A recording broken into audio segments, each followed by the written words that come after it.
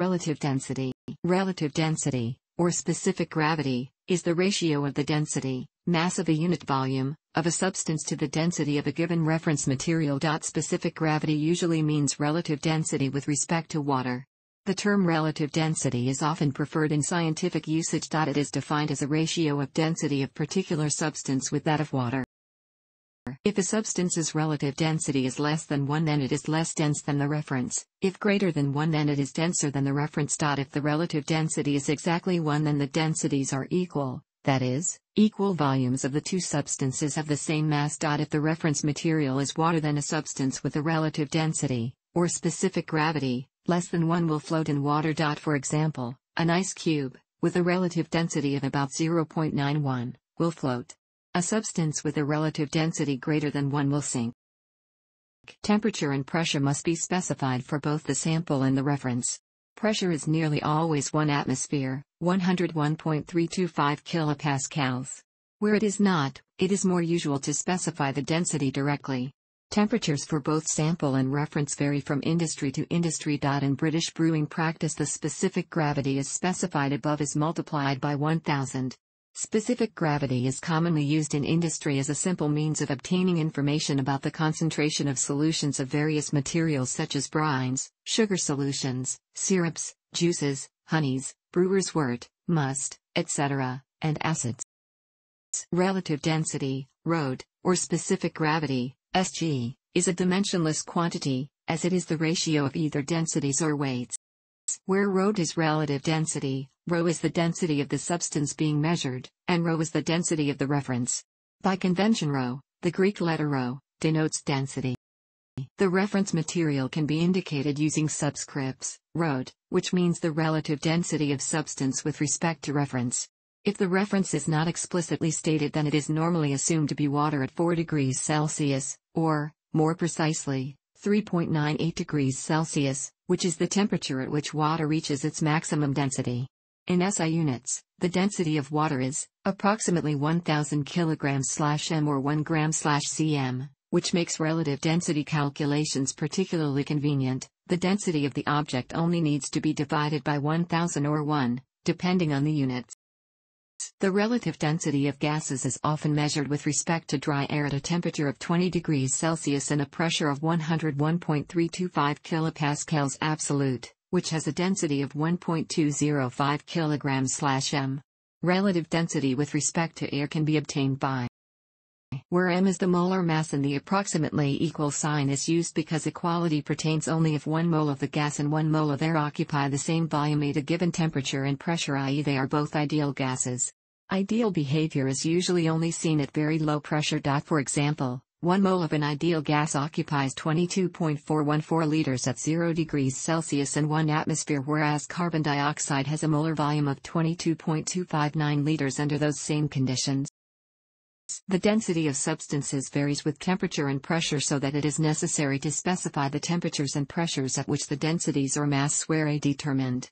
It is nearly always the case that measurements are made at nominally 1 atmosphere, 101.325 kilopascals ignoring the variations caused by changing weather patterns, but as relative density usually refers to highly incompressible aqueous solutions or other incompressible substances, such as petroleum products, variations in density caused by pressure are usually neglected at least where apparent relative density is being measured. For true, in vacuo, relative density calculations air pressure must be considered, see below.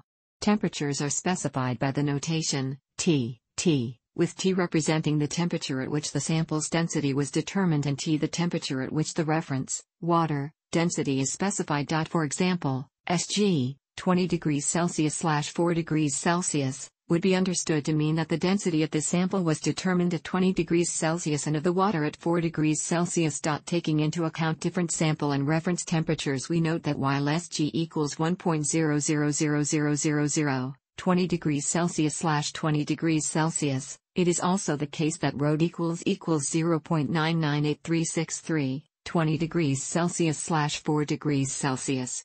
Here temperature is being specified using the current ITS 90 scale and the densities used here and in the rest of this article are based on PAT scale.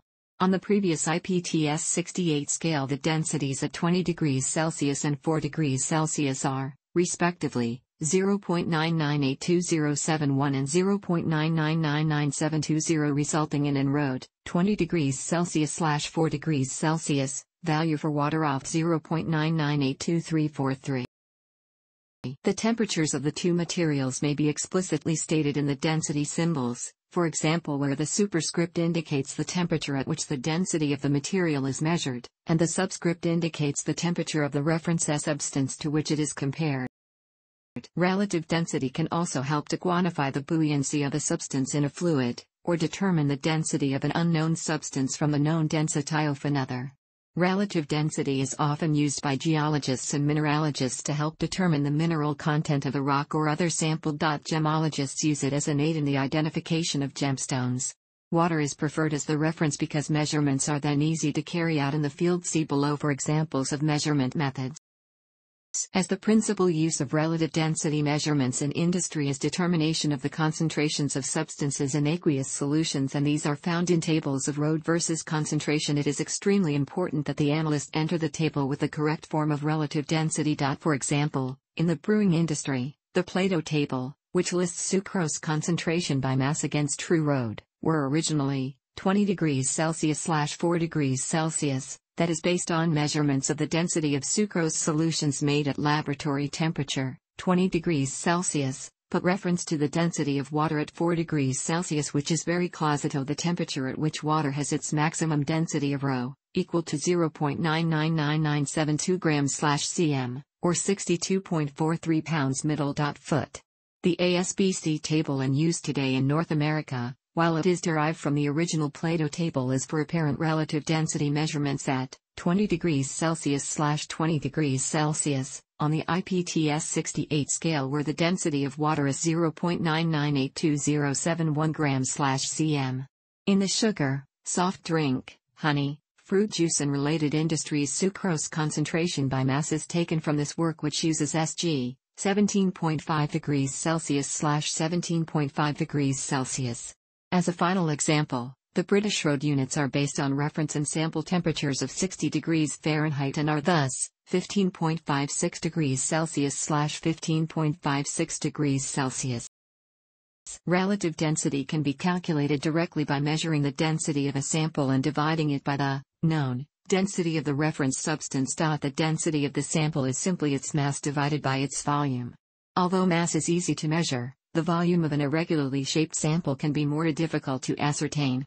One method is to put the sample in a water-filled graduated cylinder and read off how much water it displaces. Alternatively the container can be filled to the brim, the sample immersed, and the volume of overflow measured. The surface tension of the water may keep a significant amount of water from overflowing, which is especially problematic for small samples. For this reason it is desirable to use a water container with as small a mouth as possible. For each substance, the density, ρ, is given by. When these densities are divided, references to the spring constant, gravity and cross-sectional area simply cancel, leaving. Relative density is more easily and perhaps more accurately measured without measuring volume. Using a spring scale, the sample is weighed first in air and then in water. Relative density, with respect to water, can then be calculated using the following formula. Where this technique cannot easily be used to measure relative densities less than 1, because the sample will then float. W becomes a negative quantity, representing the force needed to keep the sample underwater. Another practical method uses three measurements. The sample is weighed dry. Then a container filled to the brim with water is weighed, and weighed again with the sample immersed, after the displaced water has overflowed and been removed. Subtracting the last reading from the sum of the first two readings gives the weight of the displaced water. The relative density result is the dry sample weight divided by that of the displaced water. This method works with scales that can't easily accommodate a suspended sample, and also allows for measurement of samples that are less dense than water. The relative density of a liquid can be measured using a hydrometer. This consists of a bulb attached to a stalk of constant cross-sectional area, as shown in the adjacent diagram. First the hydrometer is floated in the reference liquid, shown in light blue, and the displacement, the level of the liquid on the stalk is marked, blue line. The reference could be any liquid, but in practice it is usually water. The hydrometer is then floated in a liquid of unknown density, shown in green. The change in displacement, delta X, is noted. In the example depicted, the hydrometer has dropped slightly in the green liquid, hence its density is lower than that of the reference liquid. It is, of course, necessary that the hydrometer floats in both liquids. The application of simple physical principles allows the relative density of the unknown liquid to be calculated from the change in displacement. In practice the stalk of the hydrometer is pre-marked with graduations to facilitate this measurement. In the explanation that follows, since the floating hydrometer is in static equilibrium, the downward gravitational force acting upon it must exactly balance the upward buoyancy force. The gravitational force acting on the hydrometer is simply its weight, mg. From the Archimedes buoyancy principle, the buoyancy force acting on the hydrometer is equal to the weight of liquid displaced. This weight is equal to the mass of liquid displaced multiplied by g, which in the case of the reference liquid is rho vg. Setting these equal, we have or just exactly the same equation applies when the hydrometer is floating in the liquid being measured, except that the new volume is b, a delta x, see note above about the sign of delta x. Thus, Combining 1 and 2 yields. But from 1, we have V equals M, rho. Substituting into 3 gives. This equation allows the relative density to be calculated from the change in displacement, the known density of the reference liquid, and the known properties of the hydrometer. If delta x is small then, as a first-order approximation of the geometric series equation, 4, can be written as This shows that, for small delta x, changes in displacement are approximately proportional to changes in relative density. A pycnometer, from Greek, pi upsilon kappa nu sigma, puknos, meaning dense, also called pyknometer or specific gravity bottle, is a device used to determine the density of a liquid. A pycnometer is usually made of glass, with a close-fitting ground glass stopper with a capillary tube through it, so that air bubbles may escape from the apparatus. This device enables a liquid's density to be measured accurately by reference to an appropriate working fluid, such as water or mercury, using an analytical balance. If the flask is weighed empty, full of water, and full of a liquid whose relative density is desired, the relative density of the liquid can easily be calculated. The particle density of a powder, to which the usual method of weighing cannot be applied, can also be determined with a pycnometer. The powder is added to the pycnometer, which is then weighed, giving the weight of the powder sample. The pycnometer is then filled with a liquid of known density, in which the powder is completely insoluble.